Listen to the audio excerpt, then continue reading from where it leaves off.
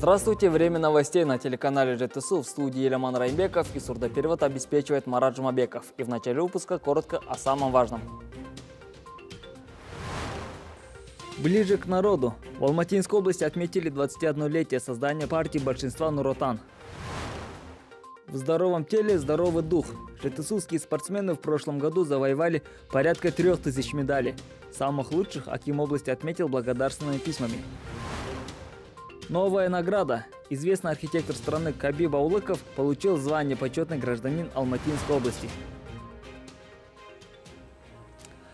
21 день рождения отметил Алматинский областной филиал партии «Нуротан». Торжественное мероприятие, организованное в честь праздника, открыл Аким Алматинской области, председатель филиала партии Амандык Баталов. В своем выступлении глава региона подчеркнул, что за 21 год своего динамичного развития партия большинства зарекомендовала себя как надежная политическая опора, которая объединяет верных сторонников единства, стабильности и процветания Казахстана. В ходе торжества благодарственными письмами за неоценимый вклад в становление и процветание Нуротан был э, отмечены более 20 ее членов. Также в этот день ряды партийцев пополнились 10 новыми членами из числа педагогов, государственных служащих, предпринимателей и других. К слову, всего на сегодняшний день в рядах Нуротан более 100 тысяч жетысусцев. В регионе действует свыше 350 первичных партийных организаций. Наша партия Нуротан, как всегда, ответственная политическая сила, всегда принимала непростые, но жизненно важные для страны решения и неизменно добивалась их выполнения, разделяя с народом все трудности и испытания. За годы независимости в нашем обществе сформировались главные ценности, объединяющие всех казахстанцев и создающие надежный фундамент для уверенного будущего страны. Слова благодарности и аплодисменты в Талдыкургане сегодня были адресованы спортсменам региона, внесших весомый вклад в развитие спорта не только Алматинской области, но и всего Казахстана. В торжественной обстановке лучших атлетов региона чествовал глава края Амандык Баталов. Под шанраком Салтанат Сарае в этот день собрались лучшие спортсмены Алматинской области. Каждый из них чемпион и призер крупных международных стартов. Они – пример для подражания. Они вдохновляют миллионы на активный досуг и здоровый образ жизни, заряжая верой в собственные силы. В регионе большое внимание уделяется созданию доступной и качественной спортивной инфраструктуры. Ежегодно в области строятся крупные спортивные объекты. Только в этом году планируется сдать в эксплуатацию 7 физкультурно-оздоровительных оздоровительных комплексов. И это не весь перечень благих инициатив. Мы ежегодно выплачиваем за счет местного бюджета 108 ведущим спортсменам ежемесячные стипендии. Из них 28 спортсменов, спортсмены, у них ограниченные возможности. Мы им тоже помогаем. То, что вкладываем, получаем вот такой результат от вас. За это я вам хочу сказать огромное спасибо. Молодцы. Главная задача наша, чтобы здоровая нация была здоровая нация, и надо массово привлекать людей к занятию физическим спортом. Прошлый год выдался весьма насыщенным для спортивной дружины Алматинской области. Завоевано около трех тысяч медалей, из них около одной тысячи золотого достоинства. Один спортсмен получил почетное звание заслуженного мастера спорта Республики Казахстан. Еще 34 удостоились звания мастера спорта международного класса. Шесть спортсменов региона получили лицензию на участие в предстоящих Олимпийских играх в Токио. Это лучший результат среди областей и городов страны. Готовимся мы очень усердно, вообще со сборов не вылазим, все время на сборах. А, ну а от Олимпиады, наверное, как и каждый спортсмен, мы ждем только золотой медали. Ну, если даже зайти в пятерку именно в нашем виде, это уже как бы достижением. Алматинская область – одна из тех регионов страны, где развитию спорта уделяется колоссальное внимание. 2019 год в регионе ознаменовался многочисленными победами талантливых спортсменов. Блестящие результаты показали практически в каждом виде. И все это атлеты связывают с большой поддержкой со стороны руководства Алматинской области.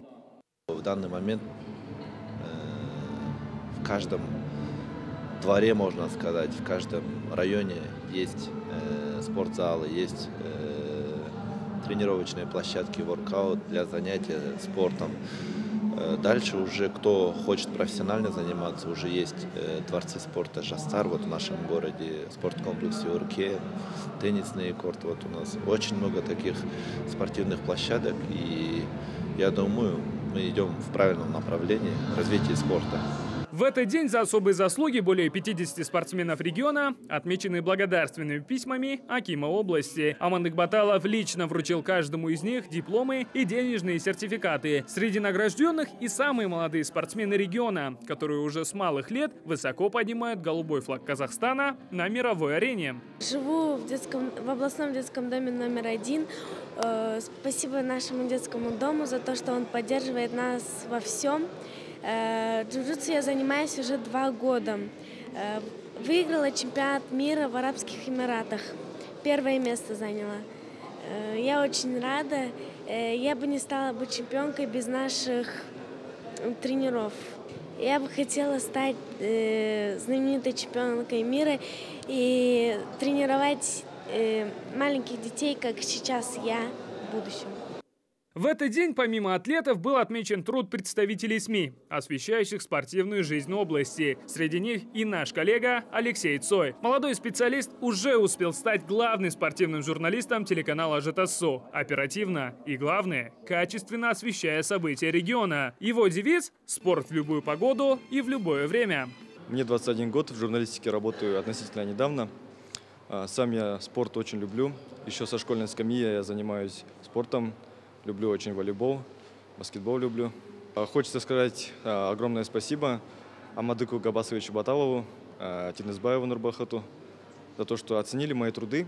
И думаю, то, что такие награды в дальнейшем будут меня стимулировать, работать только усерднее, освещать спортивные события. Встреча прошла в дружественной и непринужденной обстановке. Двухчасовой диалог с Акимом области оставил в душе каждого гостя теплые и яркие впечатления. Азат Жумаханов, Жаслан Шинкенже, телекомпания «Жетасо», Талдыкурган. Награда нашла своего героя. Почетному архитектору Казахстана и просто человеку с большой буквы Каби Баулыкову исполнилось 65 лет. За большой вклад в социально-культурное развитие области в канун своего юбилея он был удостоен звания почетный гражданин Алматинской области. Мечеть в городе Баян-Ульгей в Монголии, мавзолей и культурный центр Аль-Фараби в городе Дамаск в Сирии, монумент «Дружба народов», здание Конгресс-холла в столице Казахстана, а также многофункциональный комплекс «Маяк» в городе Ахтау. Все эти объекты – творение рук талантливого архитектора Кабиба Улыкова. Более 40 лет он посвящает себя этой уникальной профессии. Из них 37 лет Каби Ага трудится на Жетасусской земле. Начиная с 2001 года в тандеме с Акимом области Амандыком Баталовым реализован реализовано немало крупных проектов. Главные достопримечательности Талдыкургана являются замыслами этого человека. Когда я Акимом стал, я Хаби Баяделыча позвал, сказал, говорю, будешь моим советником, давай вместе будем реализовывать вот эти проекты. Хаби мен өте қатты сыйлаймын сізді. Я талантливейший архитектор. Архитекторов талантливых мало. Вместе будем реализовывать все замыслы, которые у нас есть, сколько у нас возможностей будет. Вот для молодых жас пример Хави должен быть. Каби Баулыков является автором плана застройки нового юго-западного жилого района, многочисленных скверов, а также ипподрома и аквапарка областного центра. Уникальные объекты, такие как парк Жастар, памятник, посвященный Хадргали Жалаири и трем биям казахского народа, плод трудов Каби Ага. Выступая перед активом области, он выразил огромную признательность Акиму области за оказываемую поддержку и заверил, что и далее будет работать во благо развития ЖТСО. За эти годы, э, как архитектор, я думаю, э, огромную лепту, может быть, сделали. Ну, народ видит это, э, оценит как... Ну, на сегодняшний день город у нас вырос. Для нашего города надо еще много строить. Я люблю свой город. Зеленый, компактный такой. Ну, все знают об этом.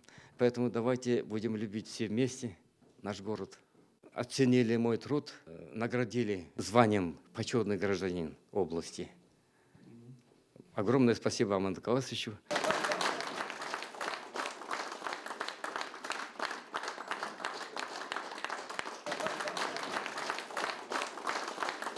Азат Жумаханов, Жаслан Ченкенже, телекомпания ЖТСУ, Талдыкурган.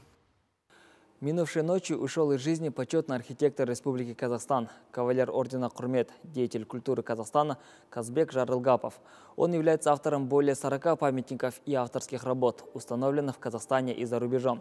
Среди самых значимых – монумент независимости на площади Республики в Алматы и первый в республике соборной мечети в Кызларде, Талдыкургане и южной столице. Свою лепту Казбек Жарылгапов внес и в творческую жизнь Алматинской области. Он является автором памятников, посвященных Жамбулу Жабаеву и Суинбаю Аронулу. Вся общественность ЖТСУ выражает глубокие соболезнования родным и близким усопшего в связи с этой тяжелой утратой.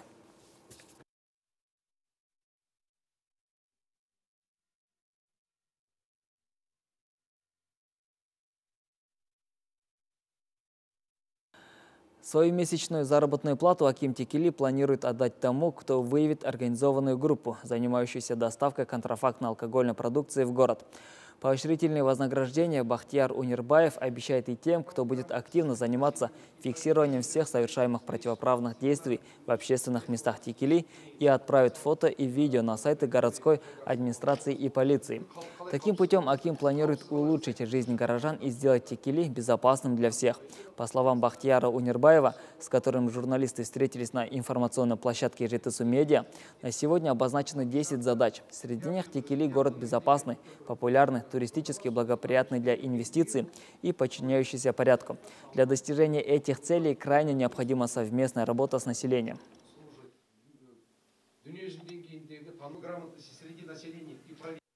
У нас э, город небольшой, 33 400 граждан, жителей в нашем городе, и каждый житель будет э, с любовью относиться к своему дому, к своему э, двору, своей улице, вообще в целом своему городу, естественно, будет порядок.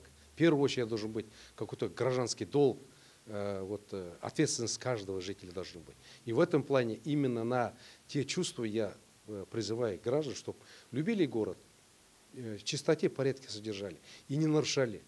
В материальном плане тоже будем стимулировать, потому что за каждое фото, видео любого правонарушения буду поощрять призами, подарками. И самый главный приз, подарок, это месячный оклад Ахима города Текеля.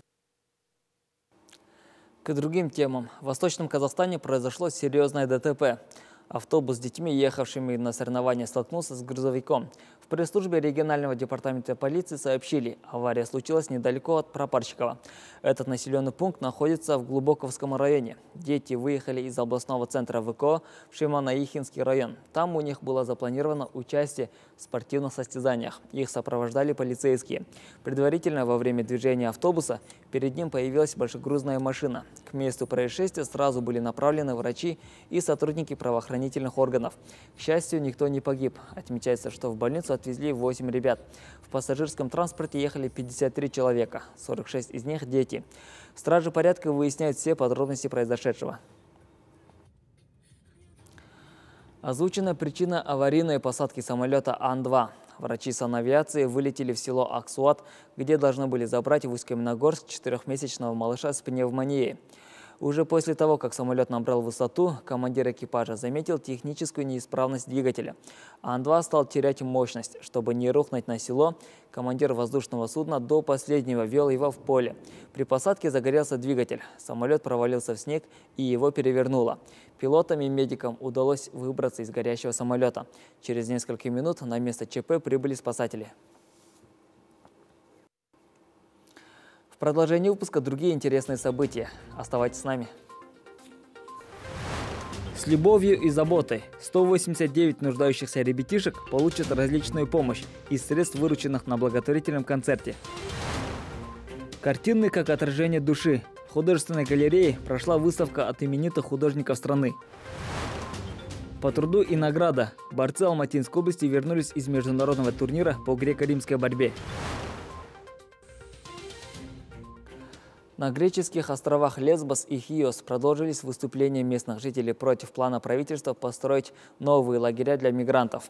У деревни Мантадамос, рядом с которой должен быть построен этот лагерь, произошли столкновения манифестантов с полицией. По данным МВД, в ходе стычек пострадали 10 манифестантов и десятки полицейских. Отметим, правительство планирует завершить строительство закрытых центров для мигрантов на пяти островах Эгейского моря к лету. Сейчас в лагерях, в которых живут более 38 тысяч человек, царят анархия и антисанитария. Азия, Европа, Америка, Австралия, Африка. Новый коронавирус расползается по частям света. В 38 странах мира число зараженных COVID-19 превысило 81 тысячу. От болезни, вызванной вирусом, скончались свыше 2700 человек. При этом более 96% случаев инфицирования зарегистрированы в Китае, ставшем эпицентром эпидемии.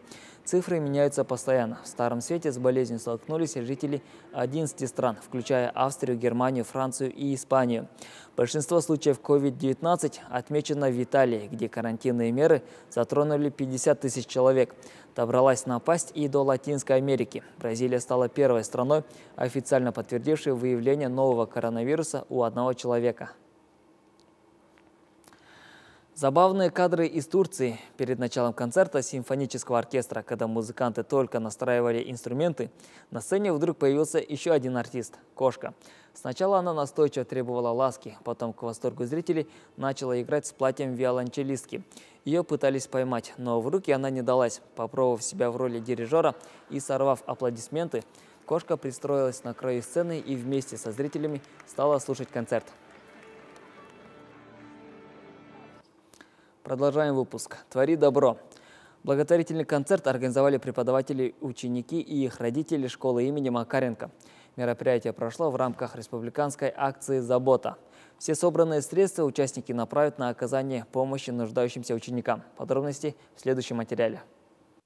Ежегодной республиканской акции преподаватели, ученики и их родители подготовились основательно, креативно подошли и к оформлению учебного заведения. Яркие шары, поучительные цитаты и картинки – все сделано своими руками. Для гостей была развернута выставка различных изделий из металла, дерева, бумаги и других материалов. Главным гвоздем программы стали музыкальные номера детей.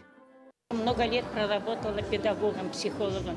В данное время мои внучка моя и внук учатся в этой школе. Ну, уже на, протяж... на протяжении многих лет я в этой, э, в этой школе, все общественные вот, деятельности школы, постоянно проводятся мероприятия. Напомним, республиканская акция «Забота» направлена на оказание социальной помощи детям из малообеспеченных, многодетных и неблагополучных семей. Поддержку получат 189 мальчиков и девочек.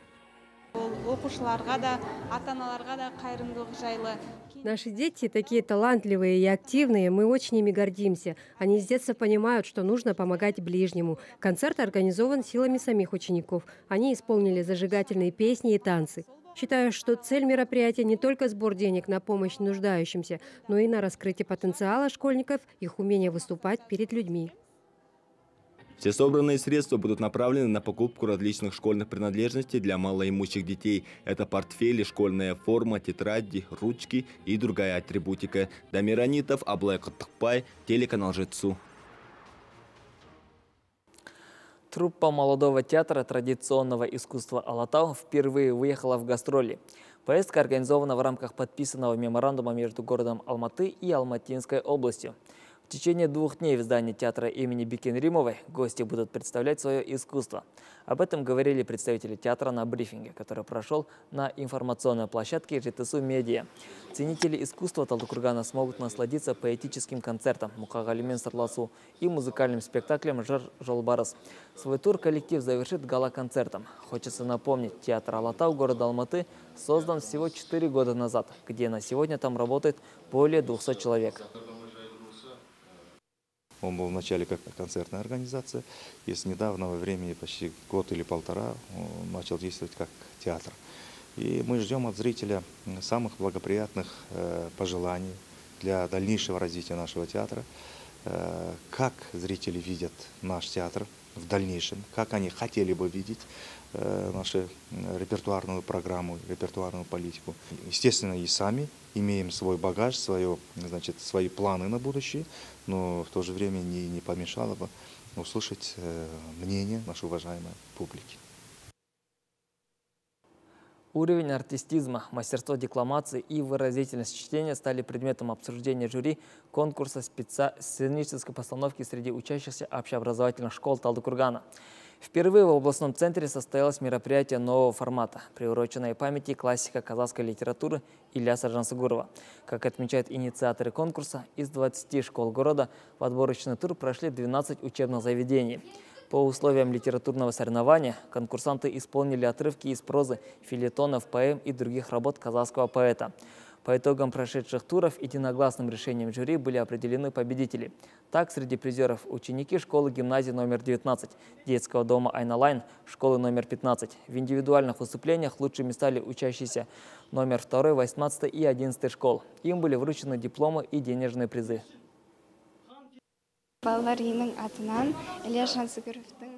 В этом конкурсе, посвященном Ильясу Жансугурову, мы от детского дома Айналайн представили публике и жюри отрывок из поэмы «Кулагер». Во время выступления наши ребята словно переживали чувства главного героя поэмы, казахского певца Ахана Сере, чей верный конь Кулагер погиб от рук завистников. Поэтому исполнили этот отрывок с большим чувством. Я надеюсь, что мы победим в этом конкурсе.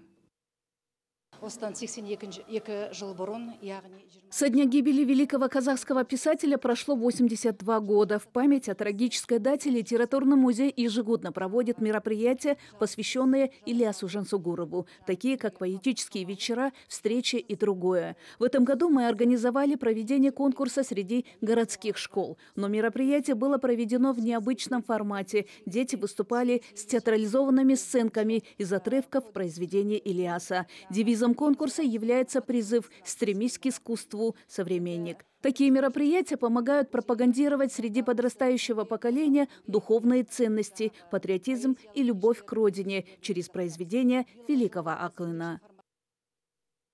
Во имя искусства 30 лучших картин отечественных мастеров кисти и красок украсили художественную галерею Талдыкургана. Выставка «Урлеу» в рамках Года волонтеров ознаменовалась и мастер-классом для начинающих талантов. Современное искусство в сплетении с классическим жанром. Именно такое сочетание могли наблюдать зрители в художественной галерее Талдыкургана. Полюбоваться творениями искусства собрались порядка 50 учеников школ искусств Талдыкургана. Будущие последователи Аблхана Костеева по достоинству оценили картины, говорят организаторы. Мы хотим через такие выставки донести до молодежи ценности искусства и пробудить любовь к творчеству. Картины действительно завораживают. Каждую из них посетители рассматривают по несколько минут. Это говорит о неподдельном интересе. Также для посетителей провели мастер-класс. Всего за 10 минут на пустом холсте появился очередной шедевр, делятся эмоциями гости. Авторы выставочных картин – молодые художники из Алматы Уралбек Кабуке, Алмаз Нургужаев и Мульдар Сагандак. Обладая неординарным мышлением и самовыражаясь через картины, они проводили выставки во всех уголках страны и в Республике Кипр. Хоть мы и с одной мастерской вышли, наш стиль кардинально отличается друг от друга, и это нас объединяет. Посмотреть выставку пришло много молодежи. Думаю, немало талантов подрастают в Талдыкургане. Надеюсь, в будущем организуем еще много выставок здесь. На суд зрителей были представлены более 30 лучших картин этих мастеров. В будущем организаторы намерены проводить различные выставки регулярно. Илеман Раймбеков, Айзада Уразала, Нуржан Муканов, телеканал Рецу, Талдыкурган.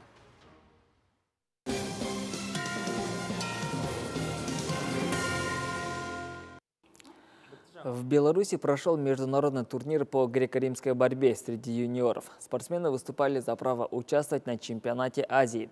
Сборная Казахстана отметилась тремя золотыми и тремя бронзовыми медалями. Среди них борцы из Алматинской области. В составе сборной Казахстана выступал и наш спортсмен из Алматинской области Исхар Курбаев. Он защищал честь страны в весе 55 килограммов. Напряженные тренировки и многочисленные сборы дали свои плоды. Международный турнир ознаменовался для борца золотой медалью. Турнир прошел очень хорошо. Соревновался с пятью спортсменами. С армянином, молдаванином было тяжело. Они очень хорошо показали себя. В финале вышел с армянином. В своей стране он лучше. Всех удалось победить. Своей победой Исхар Курбаев доказал всем, что достоин выступать на чемпионате Азии. Он пройдет в Таиланде в середине лета. Если там парень завоюет призовое место, получит право пройти на чемпионат мира. Всего от страны поехали 18 спортсменов. Выиграли 6 медалей. От нашей области 2 спортсмена. В Копилке области одна золотая медаль. Второй спортсмен занял пятое место. Теперь будем готовиться на чемпионат Азии. Перед стартами спортсмена ждут три учебно-тренировочных сбора. Два из них пройдут в Казахстане, один в Армении. Алексей Цой, Жаркан Шиндаев, телеканал ЖТСУ. Это была вся информация к этому часу. Спасибо за внимание. До свидания.